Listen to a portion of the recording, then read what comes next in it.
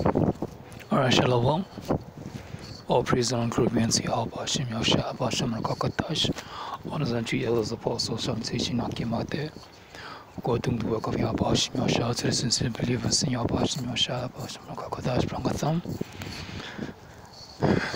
You know, this man's system is all fucked up, and a lot of you, you, you, you women out there, you Israelite women, so-called West, so-called Negroes, Latinos, Native Americans, women, women you Israelites, and this man has fucked you over big time.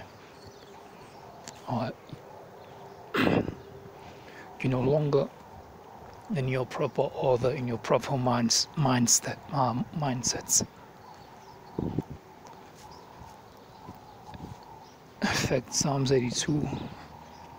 Let's go to this one for Lamentations 4. Uh, this is the book of Psalms, chapter 82 and verse 5 says they know it not, neither will they understand. They walk in darkness, all the foundation of the earth out of course.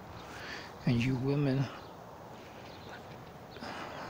the order, the natural order, and the core foundation that you you you are no longer acknowledging, not not even accepting that you're supposed to be breastfeeding naturally. Your children sit at home, breastfeed, take care of that child you have rejected all of that.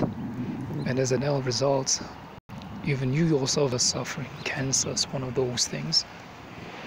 Okay, the infants, the child itself growing up with all kinds of fucked up diseases, the risk are enormous because of you not breastfeeding the child. Because you know it not, neither will you understand all the foundations of the earth, out of course, and you love it so. Genesis, going back to the book of Genesis, uh, chapter 3, the serpent be more subtle than any beast which the Lord our power has made. And now you still, uh, a lot of you still under the influence of this man. Whatever this man says, you're still following after that bullshit. And, and that's why we see a lot of these young children, they, they have all kinds of fucked up disease, all kind of diabetes, they're young, got diabetes, all kind of diseases, obesity, you name them all. There's this endless asthma, you name it all, they have it. And it's all because of what? Because of following Esau, Edom, the serpent, following after the ways of the oppressor. That relationship between you and the serpent has been going down south since the word go.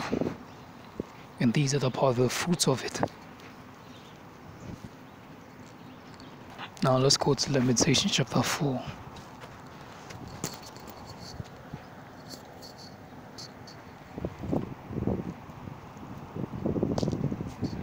Is the book of Lamentation chapter 4, 1.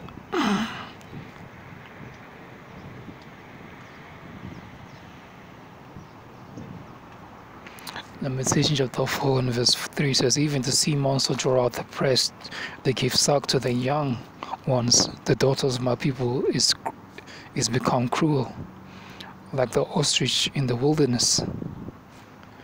And, and that is the state of a lot of you, you, so-called Negro, Latinos, Native American women.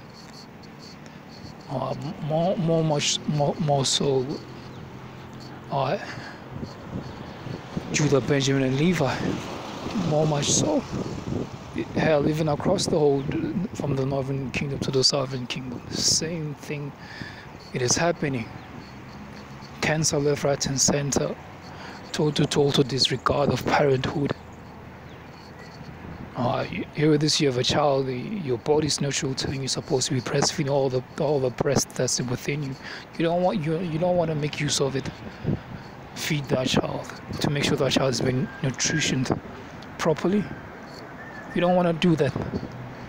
You become cruel as a fucking ostrich. You don't give a damn.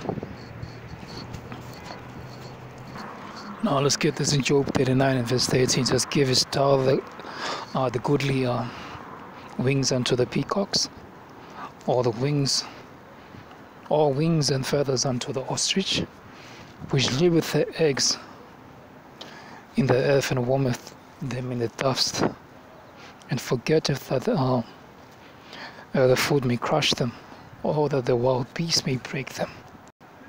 She is against her young ones, as though they were not hers. Her labor is in vain without, without fear. Because the Most High deprived their wisdom, neither have imparted to her understanding. And that is the current state of a lot of you Negro, Latino, Native American women. You've been deprived of wisdom as a weaker vessel. Let's get this in. Let's get this in the New Testament. Nine First Peter's, uh, First Peter's three, I believe. Let's just do a word search quickly.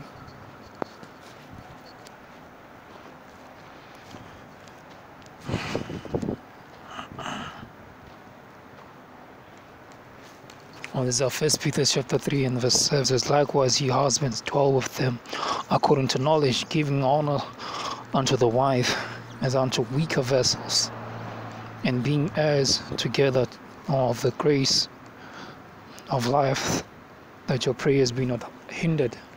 As weaker vessels, that's what exactly what you women are. Weaker vessels, what that's what you, that's why the man is supposed to be over you, to be ruling over you to be at the forefront of leadership and you are to follow behind your man. But now we know exactly for sure that we know definitely for sure due to these curses, man, things have been turned upside down because of our own disobedience against our power. And that's why things are, are in this, this current state. And unto those who are returning and seeking the face of Yahweh Hashem Shai, the Most High got you covered at the return of our Lord and Savior Yahweh Shai. All praise and glory unto Yahweh Hashem Makakatash. Shalom.